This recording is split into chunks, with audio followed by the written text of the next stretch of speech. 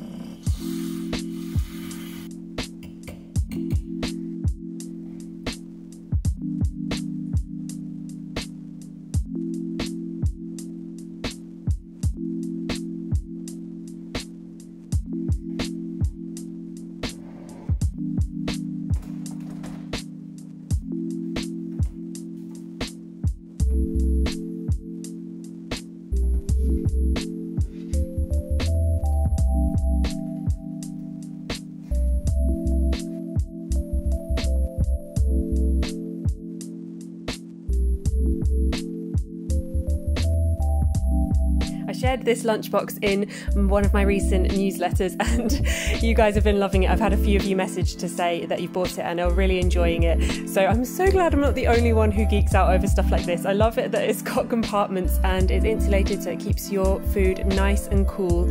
And I will link it in the description box below. Okay, so I've just arrived at work. I'm about to do a half seven till half five shift, and I was working yesterday, and oh my goodness, it was so busy. There were ambulances queued up, there were people all along the corridor waiting to be seen. Um, I haven't seen it that busy for a really long time, so I know it's going to be busy today. Um, but weirdly, I actually like it when it's busy. I think that's something that attracts me to A&E. Um, the, the team really pull together when it's busy. There's a real camaraderie. Everyone just kind of mucks in. We all know what we have to do, and um, yeah, it's it's it's hard work, but it's fun. I'm gonna go and get stuck in now. Um, I've got the tail end of a cold at the moment, so wearing a mask has not been fun at work. I did do a COVID test. I have had both of my jabs and I've had COVID, um, but I did do a test anyway just to double check that it wasn't COVID. Um, but all fine, and I'm gonna go and put on some good music on my walk into work. I love doing that. It really like gets me all pumped up for the shift, and I'm really excited today because after work I'm going to go and see some friends, some of my old friends from medical school. Um, it's one of their birthdays and we're going to go and have a little get together in the garden. Um, so I've been really organised and I've brought a change of clothes with me, a little gift. And yeah, I was, because I was working yesterday, I had to be like super organised and get everything ready a couple of days ago. So um, yeah, I'm just so looking forward to being able to see my friends. It's going to be lovely. I put on some good music and walk into the hospital, making my way to the handover meeting. And that's the meeting with all the doctors where we get told exactly where we're going to be working in the department. Then once the meeting's done, we go to the team that we've been allocated to and take handovers from the night team so that they can go home and we take over care of their patients. Then it's time to get started seeing new patients.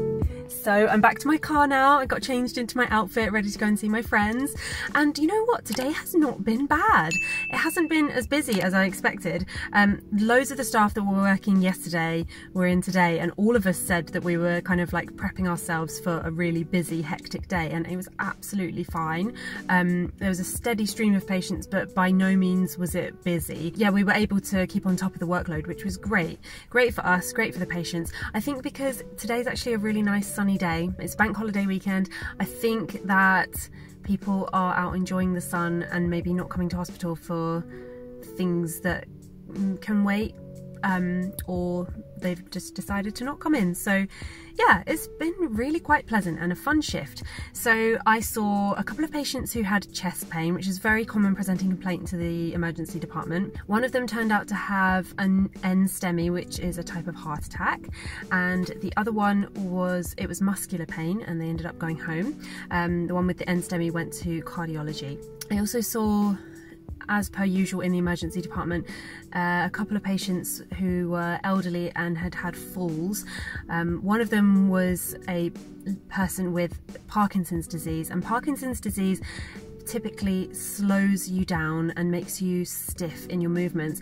And this person had missed a dose of their medications and their muscles had become stiff and they'd lost balance and fallen. Um, so really important with Parkinson's to make sure that patients get their medications on time so that they don't stiffen up and get all of these symptoms. And this patient ended up breaking their hip, so um, worked worked them up for that and got them to the orthopedics team. Um, I also saw a patient who had appendicitis. And appendicitis is really interesting because it very typically presents with pain in the middle of the tummy around the umbilicus and that moves to the right iliac fossa, so the right bottom area of the abdomen where the appendix actually is. Um, and this patient gave a really textbook uh, description of their symptoms, and um, they had a fever and they were vomiting, and it's it's really I wouldn't say nice, but it's really not even satisfying because that's not fair on the patients, but it's clinically quite satisfying when you see someone present in a way that you actually learn about in medical school um, because so often things just trip you up and, and, are actually very very different from how you expect them to be and how you learn them in medical school. Um, you kind of you learn about diseases and you learn about um, diagnoses and and how they should present and then they're so different in real life. Everyone's complicated everyone's got lots of different medical conditions that are uh, sort of you, you don't know if the symptoms are related to that or the one that they've come in with. So this was really barn door presentation, very easy to diagnose, and that patient went to the general surgery team and they will decide whether or not they're going to whip that appendix out. Um, so yeah, overall it was a really good day. I have one more shift tomorrow and I'm just coming towards the end of this cold. I'm really hoping that it will clear up tomorrow because wearing a mask when you've got a cold is not very fun. Um, and I mean, you know, I mean, it's it's good and I'm glad that we are still wearing masks, but it's it's just been a bit of a challenge and I couldn't wait to whip that thing off. It's the equivalent of taking your bra off at the end of the day when you just cannot wait to get it off and feel comfortable again. So really looking forward to going seeing my friends now and um, I've got one more shift tomorrow and then I have a day off and um, the weather forecast is looking good so I'm hoping to enjoy it in the garden. And I know in my last video I showed a little bit of our new kitchen. Been talking about moving house for a really long time and uh, a few of you commented commented that you'd like to see a bit more of the house and for me to do a house tour.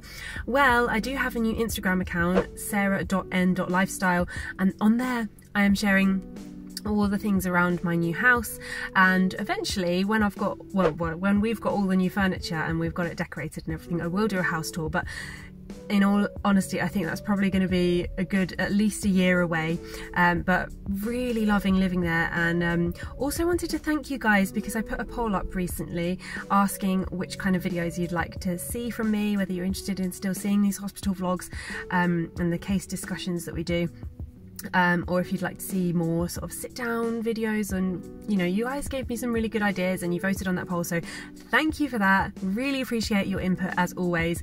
And if you have enjoyed this video I would love to hear from you in the comments. If you are a long time watcher then leave me some love. And if you're a newbie then come say hey introduce yourself. We love chatting here on this channel. So yeah let me know in the comments if you've enjoyed this video and I will catch you in the next video. Bye guys the shout out today goes to Nerdy Ninja. You commented under my last video and you mentioned that you're doing UCAT practice at the moment. I really hope it's going well for you. Best of luck. Keep that revision going. I know it's hard, but you will get through it. And I just want to say thank you to all of you who leave me lovely comments under my videos. I really appreciate every single one of you.